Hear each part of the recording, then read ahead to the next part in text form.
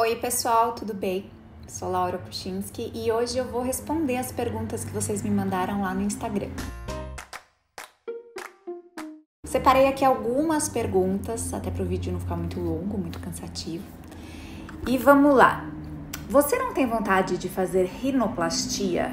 Podia fazer um vídeo sobre rinoplastia plástica no nariz, né? Não, não tenho vontade de fazer rinoplastia. É engraçado como perguntam bastante isso, eu fico me perguntando por quê. Apenas porque eu não tenho nariz padrão. É, meu nariz, né, eu tenho um, um, ossinho aqui assim. Eu não tenho aquele nariz retinho, assim, todo fininho, tadadá. mas eu tenho. É, eu acho que o nariz é uma coisa muito forte, sabe? E diz é, é, é, muito característico. Eu tenho medo de mexer. Primeiro que não me incomoda meu nariz. Se um dia me incomodar, eu posso pensar em fazer plástica, mas por enquanto não me incomoda. E de qualquer forma, mesmo que me incomodasse, eu acho que é muito complicado você mexer no meio, é no meio do rosto, sabe? A chance de você não gostar existe. Outra coisa, quantas é, vídeos a gente não tem visto por aí de pessoas que tiveram complicações. Claro, eu procuraria um bom médico, mas mesmo assim, não sei se valeria o risco. Enfim, gente, não me incomoda. Dizem que nariz e orelha não param de crescer, né? Então pode ser que é, se ele continuar crescendo, crescendo, pode ser que eu queira mexer. Mas por enquanto tá, tá tudo certo, não pretendo mexer, não e teria medo, sabe, de alterar muito o meu rosto, porque por mais que ele não seja padrão, eu acho que ele combina com o meu rosto, então, sei lá. Quantos anos tem suas irmãs? A minha irmã, eu tenho duas irmãs mais velhas do que eu. Uma tem 36, a outra tem 33 e eu tenho 30. São três anos de diferença. Alguma novidade que possa contar sobre algo que vai acontecer? Não sei, na minha vida, na novela, não sei. Bom, novela Gênesis tá aí a todo vapor, espero que estejam gostando, que estejam acompanhando as peripécias de Danina. E na minha vida, se Deus quiser, esse ano sai ah, os meus produtos com a TB Make, né? Eu tinha comentado com vocês que eu estava desenvolvendo um produto com a TB Make e eu acho que esse ano sai. Espero. Não, gente, tem que sair. Qual a opinião da sua família sobre o seu talento, profissão? Quando eu, comecei muito cedo, eu sempre gostei de atuar e eu fazia peças e tal, e eles sempre, enquanto era um talento, eles achavam muito legal e sempre estavam assistindo as, as apresentações, enfim. Quando eu decidi fazer isso profissionalmente, eles ficaram sim preocupados Uh, o meu pai, mais do que minha mãe, minha mãe sempre disse: você precisa fazer o que você ama, porque senão não dá certo. Mas meu pai, ele nunca me proibiu: olha, você não vai fazer isso. Mas ele queria me convencer a fazer outras coisas, alguma outra. É, ter alguma outra profissão.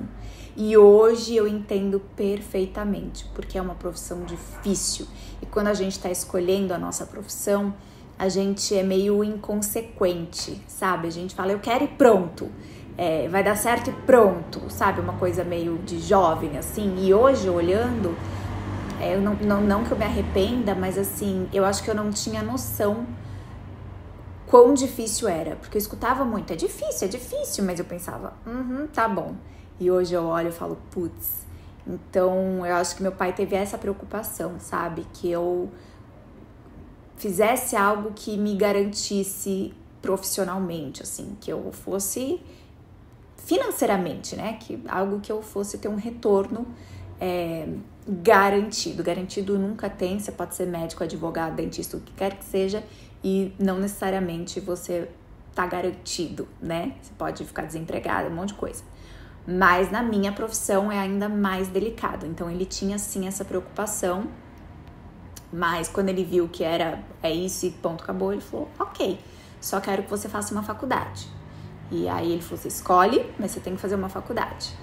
Foi a melhor coisa que eu fiz. Obrigada, pai. Você não fez vlog do seu aniversário? Estamos com saudade dos vlogs. Gente, eu também tô morrendo de saudade dos vlogs. É, não fiz vlog no meu aniversário, optei por tirar um dia para mim, ainda mais assim essa virada, né, 30 anos, eu quis parar um pouco, refletir um pouco, fazer uma avaliação, uma autoavaliação aí, então eu tirei o dia para mim. Mas eu tô com saudade dos vlogs e eu tô fazendo vlogs. É, comecei essa semana, comecei hoje, inclusive, o dia que eu estou gravando. É, fazer vlogs da semana. Então eu vou fazer essa experiência, me digam aí se vocês gostam da ideia ou não. E vocês vão assistir e aí vocês podem falar melhor se acharam uma boa ideia ou não.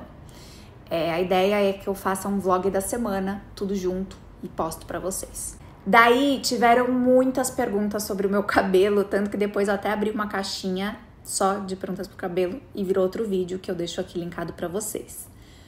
Como está a sua alimentação e exercícios na quarentena? Ainda está malhando? Não. Débora, eu preciso ser honesta. Não, gente, eu tô. Nossa, eu parei completamente. Eu, tive, eu voltei do Rio e no final do ano passado, né, novembro, e tive Covid. E aí eu fiquei bem mal e não conseguia, imagina, malhar de jeito nenhum. Eu demorei para me recuperar. Assim, eu, eu fiz a quarentena de 14 dias para não transmitir para ninguém, mas mesmo depois de estar curada, eu tinha sintomas assim, muito cansaço, muita tosse. Então, eu demorei para ficar 100%, e aí quando eu fiquei 100%, eu estava de férias.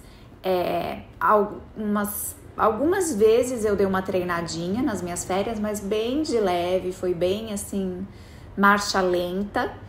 E depois que eu voltei, que foi no finalzinho de janeiro, eu não treinei nada, nada, nada.